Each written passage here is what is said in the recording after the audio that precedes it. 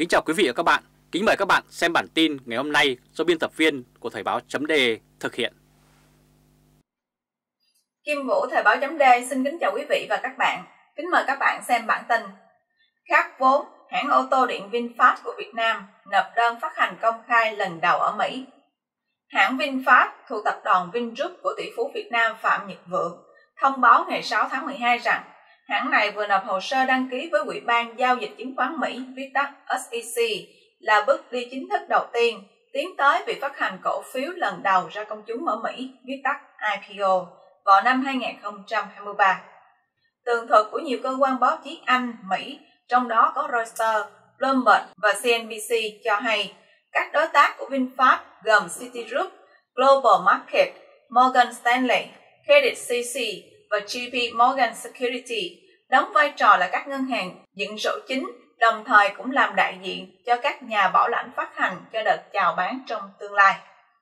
Trên giấy tờ chính thức, VinFast đã được chuyển đổi thành một công ty trách nhiệm hữu hạn đại chúng có văn phòng giao dịch đặt ở Singapore. Giờ đây, hãng này dự kiến niêm yết cổ phiếu trên sàn Nasdaq với mã VFS. Theo tin của Reuters, Bloomberg, CNBC và nhiều báo nước ngoài. Và đây là hình ảnh của thương hiệu Việt Nam đóng thuế làm giàu cho Singapore gây tranh cãi. Hãng này không tiết lộ về thời điểm sẽ chính thức IPO, số lượng cổ phần sẽ chào bán và số tiền vốn mà họ kỳ vọng sẽ quy động được.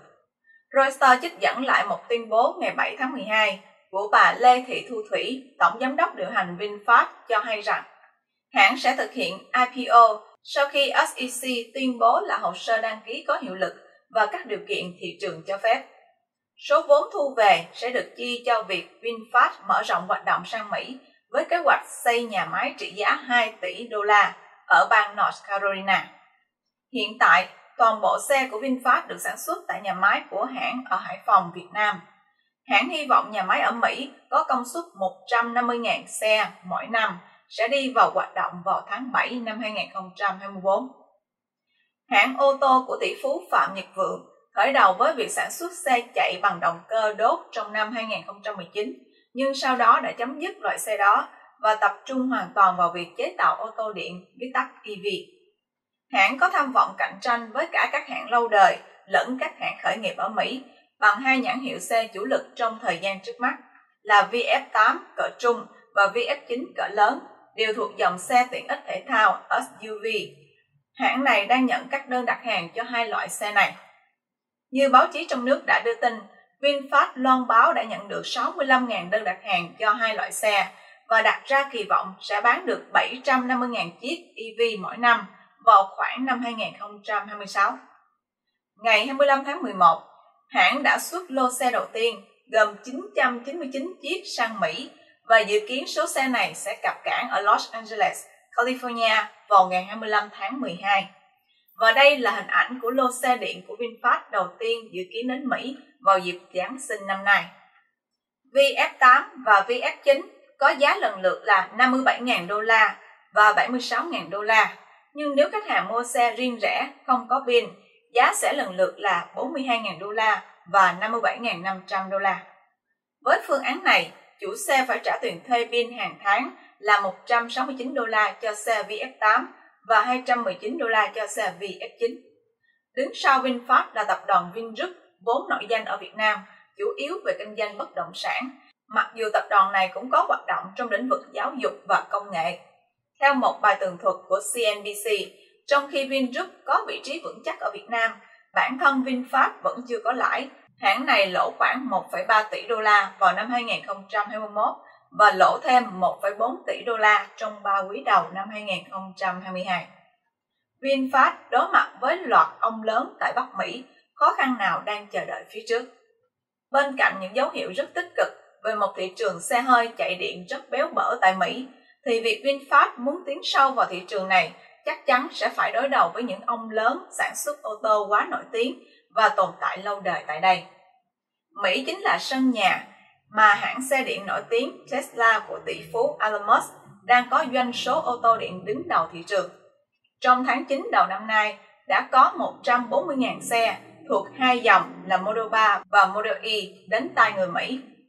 Một ông lớn khác là Ford cũng đang tích cực tham gia đường đua xe hơi chạy điện, với đại diện là F150 Lightning đang rất hút khách. Ngoài ra, Mustang Mach-E, xe thể thao chạy điện đầu tiên của Ford, hiện đang gây sốt với 28.000 chiếc lăn bánh trong ba quý đầu của năm 2022, theo thống kê từ World Intelligence. Và đây là hình ảnh của VinFast phải tìm được cửa sống trước hai gã khổng lồ Tesla và Ford tại thị trường Mỹ. Chỉ riêng hai ông lớn nêu trên đã chiếm các thị phần không nhỏ trong phân khúc ô tô chạy điện ở Mỹ. Muốn cạnh tranh, VinFast cần phải đặc biệt chú trọng tới không marketing, quảng bá sản phẩm hơn nữa. Bởi lẽ, hiện nay, phân khúc xe điện đang chủ yếu đánh vào các khách hàng có nguồn thu nhập cao. Trong khi đó, ở phân khúc xe điện bình dân, dường như người tiêu thụ vẫn còn khá dè dặt. Bên cạnh các lợi thế về sân nhà, các hãng xe hơi điện tại Mỹ còn có một điểm mạnh rất lớn, chính là sự hỗ trợ tối đa tới từ chính quyền Washington thông qua các chính sách dè dặt với xe điện nhập cảng và ưu tiên xe tới từ khu vực Bắc Mỹ. Chính bởi khó khăn trên mà ô tô điện Trung Quốc chưa đạt được bước tiến nào rõ rệt, dù ở thị trường đại lục đã phát triển rất mạnh. Đây cũng là một bài học mà VinFast cần phải đặc biệt nghiên cứu kỹ trước nếu muốn bán xe điện tại thị trường này. Quý vị và các bạn đang xem chương trình trực tiếp của Kim Vũ Thời báo chấm đề với bản tin Khác vốn, hãng ô tô điện VinFast của Việt Nam nộp đơn phát hành công khai lần đầu ở Mỹ. Kim Vũ Thời báo chấm đề xin kính chào quý vị và các bạn. Kính mời các bạn xem bản tin Hoảng loạn chuyện nợ xấu ngân hàng, nguyên nhân từ đâu? Kỳ thứ nhất, nợ quá hạn ngân hàng. Mấy tháng trở lại đây, các ngân hàng liên tục rao bán nợ xấu để thu hồi vốn, mật độ tổ chức các phiên đấu giá ngày càng dày đặc. Có những khoản nợ hàng trăm, hàng ngàn tỷ đồng, nhưng cũng có những khoản nợ chỉ vài triệu, thậm chí vài trăm ngàn đồng. Nhưng dù nợ lớn hay nợ nhỏ thì việc rao bán của ngân hàng vẫn liên tục ế dù đã đại hạ giá. Mới đây, ngày 5 tháng 12, ngân hàng Sacombank ra thông báo tiếp tục rao bán một số tài sản thế chấp để thu hồi các khoản nợ lớn. Nhiều tài sản đã được rao đi rao lại nhiều lần, giảm giá nhiều lần nhưng vẫn không ai hỏi đến.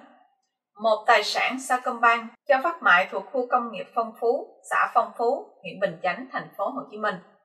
Đây là tài sản đảm bảo cho 18 khoản nợ với tổng dư nợ là 16.200 tỷ đồng, nhưng kỳ đấu giá này chỉ rao bán giá 7.934 tỷ đồng.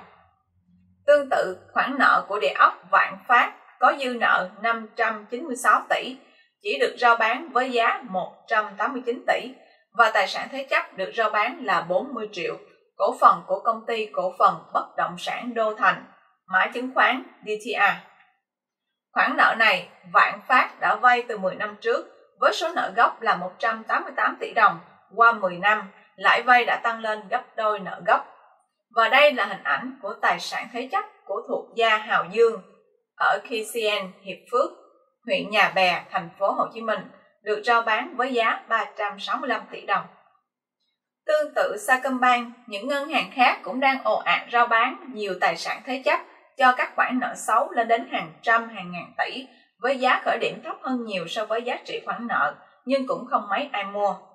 Ví dụ như Vietcombank đang rao bán bất động sản thế chấp với tổng dư nợ là 1,38 triệu tỷ đồng. Nợ xấu này mà các ngân hàng đang rao bán thời gian gần đây không phải là nợ mới chuyển thành xấu mà nó đã tích tụ từ nhiều năm trước. Vì sao các ngân hàng không giải quyết những khoản nợ xấu này sớm hơn, ngay khi nó chuyển xấu mà lại ôm đến tận bây giờ, khi thị trường bất động sản đóng băng, thị trường chứng khoán sụp đổ mới đem ra rao bán, để rồi phải ôm trái đắng. Phải chăng hậu quả này là do các ngân hàng trong một thời gian rất dài đã cho vay quá dễ dãi, chỉ cần dựa vào mối quan hệ, dựa vào chi phí bôi trơn là có thể vay được. Ai cũng hiểu, ở Việt Nam, khi muốn vay tiền ngân hàng, người ta phải chuẩn bị phong bì, phong bao cho cán bộ ngân hàng. Nếu là những khoản vay lớn thì phải lo cho sếp lớn, khoản vay nhỏ thì chỉ cần có quan hệ với cán bộ tín dụng, cán bộ thẩm định. Và đây là hình ảnh của Nguyễn Thị Hằng tự quảng cáo để nhận tiền bôi trơn, vay vốn ngân hàng, lừa đảo chiếm đoạt tài sản công dân ở Thanh Hóa. Cứ như vậy, thông qua khoản bôi trơn, giá trị tài sản thế chấp dễ dàng được đẩy lên, thậm chí có trường hợp bị đẩy lên đến gấp nhiều lần giá trị thật. Khoản vay lớn chứng tỏ là do doanh nghiệp lớn vay, mà doanh nghiệp lớn thì thường có quan hệ với các sếp lớn, nên khả năng đôn giá đẩy giá tài sản thế chấp càng lớn. Rồi đến khi con nợ không thanh toán được khoản nợ và tài sản thế chấp được đưa ra thị trường rao bán, lúc đó giá trị tài sản phải trở về với giá thị trường và thông thường nó sẽ thấp hơn khoản nợ vay. Chưa kể đến trường hợp con nợ không trả cả vốn lẫn lãi thì lãi cứ cộng dồn vào vốn và khoản nợ cứ thế tăng lên như trường hợp địa ốc vạn phát đã nêu ở trên. Vậy vì các ngân hàng không rao bán nợ xấu lớn sớm hơn, phải chăng là để che đậy hành vi dối trá trong việc thẩm định, xét duyệt cho vay của họ, tránh cho bị vỡ lỡ? Đến bây giờ, bất động sản đóng băng và xuống giá, họ mới đem ra rao bán để cho việc sụt giá này có vẻ là hợp lý chăng? Và đây là hình ảnh của việc tinh bang công khai rao bán nợ xấu tính chấp. Không chỉ có vay, nhiều ngân hàng còn bán cả các khoản nợ vay tiêu dùng không có tài sản đảm bảo. Mới đây, ngân hàng Vietinbank đã rao bán 321 khoản nợ xấu là khoản vay tiêu dùng. Tuy không giống Vietinbank, dám công khai rao bán nợ xấu tính chấp, nhưng các ngân hàng thương mại khác cũng đã lặng lẽ, không kèn không trống mà bán nợ xấu tính chấp trong vài năm gần đây. Vậy ai dám mua những khoản nợ này? Những khoản nợ xấu này chắc chắn không ai dám mua ngoài những công ty chuyên đòi nợ thuê. Nói thẳng, đó là những tổ chức xã hội đen được cấp phép. Những tổ chức này đã lộng hành suốt 3 đến 4 năm nay, gây ra rất nhiều chuyện bất bình, ngay cả trong thời gian xã hội bị phong tỏa nghiêm ngặt. Những công ty đòi nợ thuê này được ai chống lưng mà dám lộng hành như vậy? Mời quý vị nghe tiếp kỳ sau. Quý vị và các bạn đang xem chương trình trực tiếp của Kim Vũ Thời báo chấm D với bản tin hỗn loạn chuyện nợ xấu ngân hàng, nguyên nhân từ đâu. Xin mời quý vị và các bạn chia sẻ video này cho nhiều người biết và bấm nút theo dõi trên Twitter, YouTube và Facebook của Thời báo chấm D để luôn được cập nhật bản tin mới nhất, nhanh nhất và trung thực nhất. Kim Vũ xin kính chào các bạn và hẹn gặp lại các bạn trong chương trình lần tới. Kim Vũ, Thời báo chấm đề.